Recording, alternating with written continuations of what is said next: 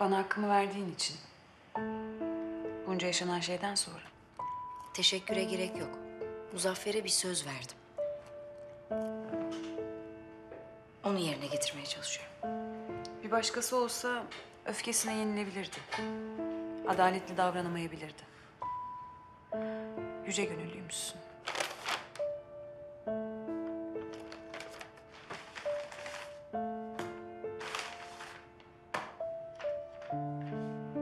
Her türlü gelirden sana kalan pay. Yalnız bir şartım var. Parayı alacaksın. Ama dediğimi yaparsan. Ne istiyorsun?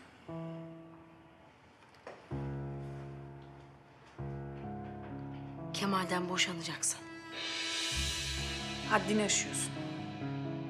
Bunu yapmaya hakkın yok. Bana böyle bir şart koşamazsın. Abimin vasiyetini yerine getirmek zorundasın. Ben de bunu yapmaya çalışıyorum zaten.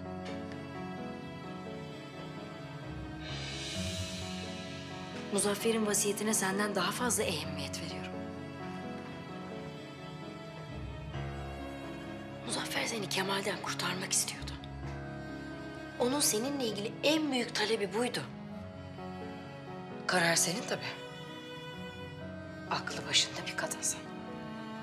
Bir işçi karısı olarak yaşamayı seçebilirsin. Kemal'in kazandığı parayla pekala bir hayat sürebilirsin.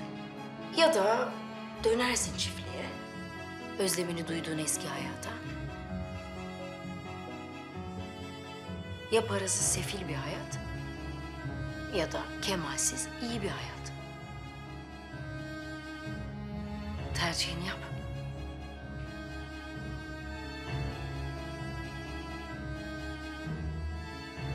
Hemen cevap verme.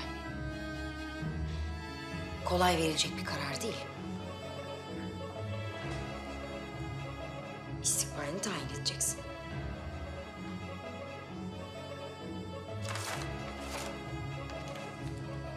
İşte. Param burada. İyi düşün. Benim acelem yok.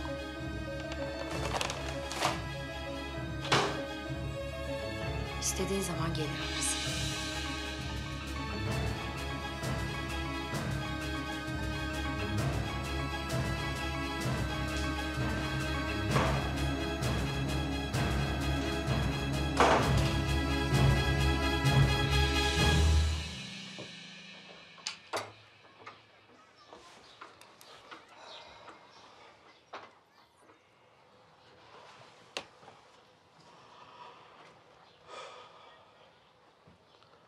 Zehra, He? bileziklerini getir. Bilenziklerim mi? Yanımda değil ki çiftlikte onlar.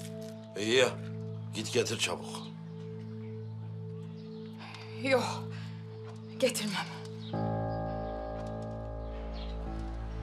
Sen bana karşı mı duruyorsun? Ama garantim onlar benim. Zor günler için zahlıyorum ben onları. İyi ya, şimdi de zor günler. Lazım diyorum sana.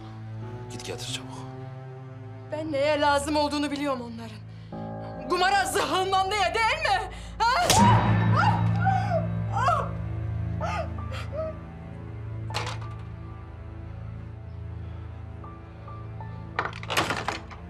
Oğluna lazım lan. Oğluna. Hamza'ya. Hamza'ya mı? Ha ya. Sen ne diyorsun Cemşit? Hamza yaşıyor.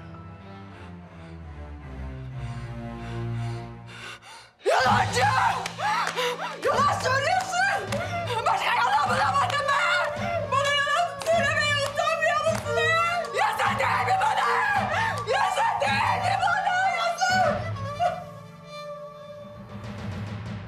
Yalan değil. Böyle yalan söylenir mi? Hamza yaşıyor. Ben de şaştım senin gibi. Bir de birdenbire çıka geldi. Sapasağlam. Mı? Esra mı diyorsun ha? Esra mı diyorsun? Ha? Esa esa kanlı canlı. O mezarda yatan Hamza dermiş. Duydun ne haberim Şimdi para lazım.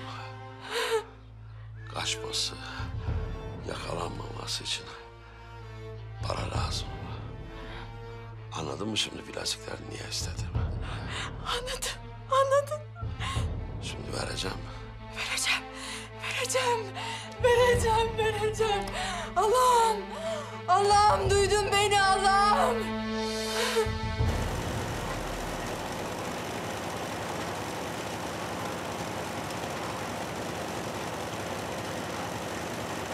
Hoş geldin Kemal. Hoş bulduk usta. Gel bakalım.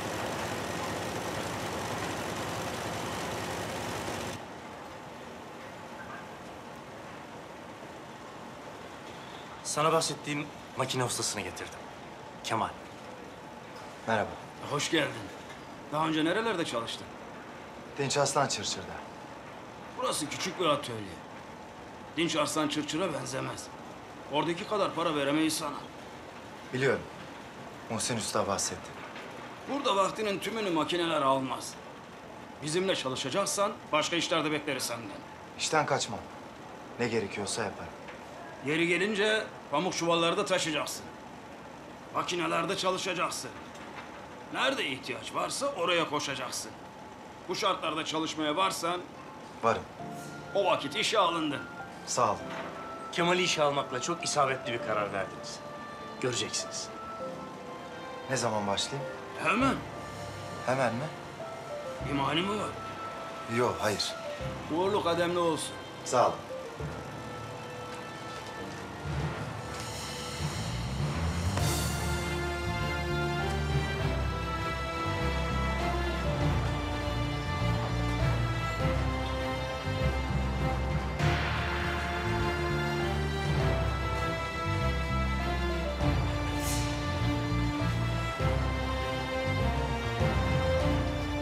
Sağ ol usta. Halide de çok sevinecek. Hadi bakalım. Hayırlı uğurlu olsun.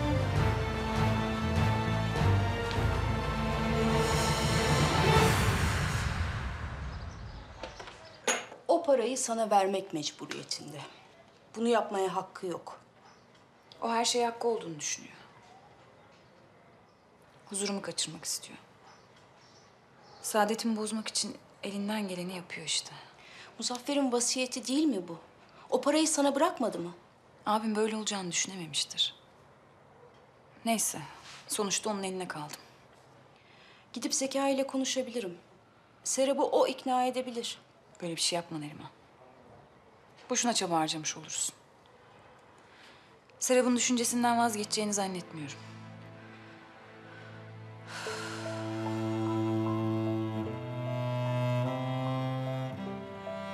Senin yerinde olmak istemezdim halde. Vermek zorunda olduğun karar hayatının en zor kararı. abone olarak tüm videolardan anında haberdar olabilirsiniz.